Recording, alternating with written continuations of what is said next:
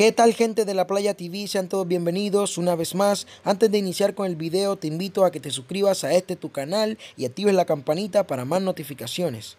En la madrugada de hoy, viernes primero de mayo, fallece el hijo de Diomedes Díaz, cantante de música vallenata y padre del gran Martín Elías, que también era cantante de vallenato. Este joven que acaba de fallecer chocó con un poste en la ciudad de Barranquilla de Colombia. Fue tan fuerte el golpe que inmediatamente quedó sin vida. Inmediatamente llegó la policía y toda la ciudad se revolucionó. Pero el motivo de este video, ya que horas antes yo había hecho la misma noticia de la muerte de este joven, esta vez quiero hablar de un tema muy curioso que está rondando por todas las redes sociales. Y es el siguiente, muchas personas en las redes sociales están diciendo que en esta imagen sale Diomedes Díaz, padre de este joven fallecido y que sale con las manos atrás. Si observamos bien la imagen, atrás del poste sale una persona vestida de negro. También por otro lado salen unas personas en la parte de las palmeras, como dialogando. Esto desató muchos comentarios en las redes sociales, ya que cuando falleció su otro hijo, Martín Elías, también hubieron muchas imágenes donde aparecían personas y también hubieron esta clase de comentarios.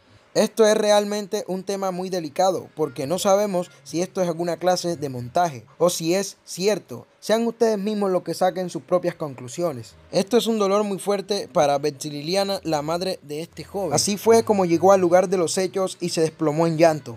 Te invito a que vayas a ver estos videos más completos en nuestra cuenta de Instagram. Síguenos La Playa TV. También aparecemos asimismo en Facebook. Y te invitamos a que te suscribas a este tu canal favorito, La Playa TV, para que no te pierdas cada una de estas noticias y estés enterado todo lo que pasa en la música, en la moda, el entretenimiento, en la farándula y mucho más.